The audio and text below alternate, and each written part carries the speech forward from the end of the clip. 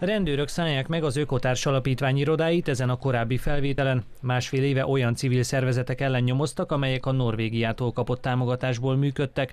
A kormány szerint az összeget törvénytelenül használták fel, ráadásul érveltek akkor, a Norvégiától kapott pénz is közpénz. A kormány szemet hunyhat-e afelett, hogy Magyarországra érkező közpénzeket tendenciózusan a nemzetközi szerződéseket megszegő módon használnak fel, vagy sem. Ez pedig a Pallas Athéni Alapítvány leendő székháza a várban. Két milliárd forintért vette meg a Magyar Nemzeti Bank, majd átadta a saját maga által létrehozott alapítványnak. A Nemzeti Banknak több alapítványa is van, összesen 250 milliárd forintot adott nekik közgazdászképzés beindítására. Ennek ellenére a várban magyar borokat népszerűsítő szaküzlet, kávézó és étterem is lesz a pénzből. Kedden azonban az országgyűlés úgy módosította a Nemzeti Bankra vonatkozó törvényt, hogy az alapítványok pénze már nem is számít közpénznek. Hát mi más lenne?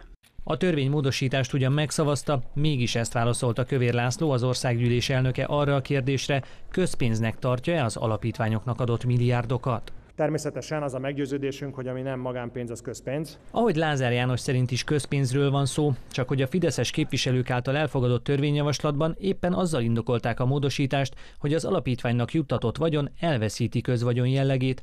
A változtatás értelmében innentől kezdve az alapítványoknak nem kell megmondaniuk, hogy mire költik a jegybanktól kapott 100 milliárdokat közérdekből, az ország érdekéből, az ország pénzügyi biztonsága érdekéből, nemzetgazdasági és nemzetstratégiai célok érdekéből igenis lehet a közpénzek felhasználásával kapcsolatos nyilvánosságot korlátozni. Azaz közpénz vagy sem, Lázár János szerint indokolt a titkolózás. A miniszterelnökséget vezető miniszter egyébként a kormányinfon végig arról beszélt, hogy a kormánynak semmi köze az ügyhöz, az csak az országgyűlésre tartozik. Igaz, a módosítást Rogán Antal és Varga Mihály miniszterek is megszavazták, Lázár János azonban azt is mondta, az ügynek még nincs vége.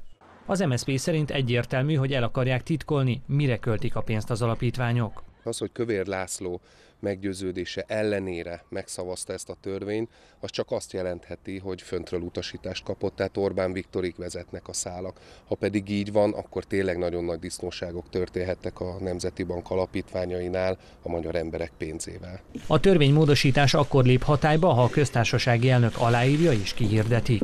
Áder Jánosnak öt napja van eldönteni, hogy aláírja-e egy jegybanktörvény módosítását, esetleg alkotmányossági vizsgálatot kér róla az alkotmánybíróságtól, vagy visszaküldi megfontolása az országgyűlésnek.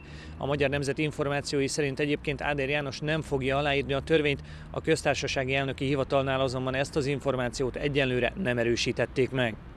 Losonci Gergely, RTL Híradó, Budapest.